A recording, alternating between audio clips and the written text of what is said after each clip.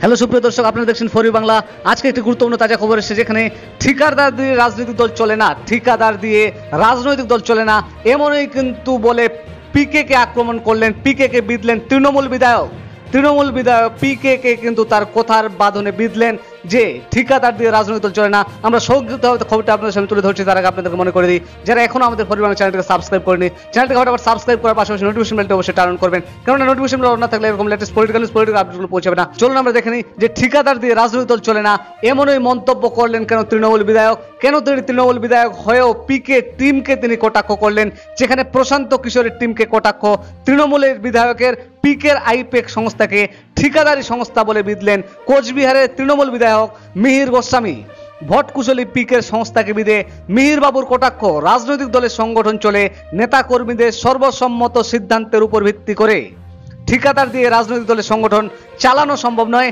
একুশের বিধানসভা ভোটের আগে ডান বাম সব রাজনৈতিক দল কিন্তু কোমর বেঁধে সংগঠন চাঙ্গা করার কাজে নেমে পড়েছে। করোনা আবহেও একাধিক দল ভার্চুয়াল পদ্ধতিতে রাজনৈতিক কর্মসূচি চালাচ্ছে। বাম কংগ্রেস, বিজেপির পাশাপাশি বিধানসভা নির্বাচনের আগে সংগঠন মজবুত করতে তৎপর শাসক দল তৃণমূল কংগ্রেস। তৃণমূলের সাংগঠনিক শক্তি বৃদ্ধির বহু দায়িত্বই সামলেছেন ভটকুশলী প্রশান্ত কিশোর।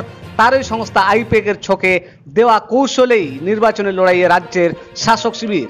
এবার প্রশান্ত কিশোরের সংস্থাকেই বিধলেন কোচবিহারের তৃণমূল বিধায়ক মিহির গোস্বামী। তিনি বলেন, রাজনৈতিক দলের সংগঠন চলে নেতাকর্মীদের সর্বসম্মত সিদ্ধান্তের উপর ভিত্তি করে।